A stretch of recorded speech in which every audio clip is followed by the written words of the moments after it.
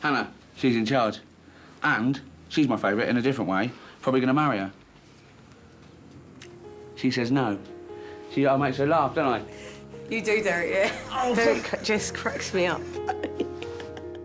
Derek, the new comedy drama from Ricky Gervais, 12th of April on 4.